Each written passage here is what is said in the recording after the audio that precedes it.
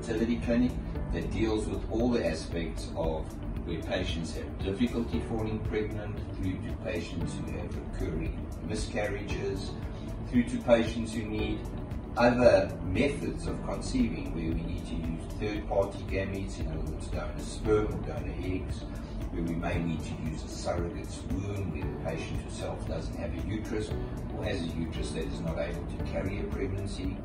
Um, we manage all aspects of reproductive medicine. Eggs, we get uh, numerous applications every month. We do have a computer program that has an algorithm that will select the donors out initially. So there are lots of reasons why we will not allow a donor to donate. Unfortunately, the computer then will inform that donor she does not satisfy the criteria.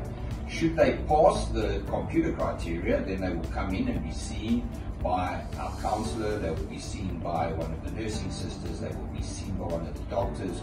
And the most important thing for us is to make sure that the donor herself has good potential because we see a lot of young girls today who have a limited egg supply. And they themselves should not be donating their eggs, they should rather be getting pregnant. Self, for reproductively older women, is more difficult. And if we go back and we say, and how old is the oldest baby now? Louise Brown's 42 years old. Why did IVF come out? IVF came out for young women with blocked tubes. So there was a mechanical problem where sperm and egg could not meet up. So we said, let's bypass the mechanics. So when we started IVF in the late 70s, we did it for young women with blocked tubes. Then we started to look at using it for young women with open tubes and other reasons for infertility. And it worked well.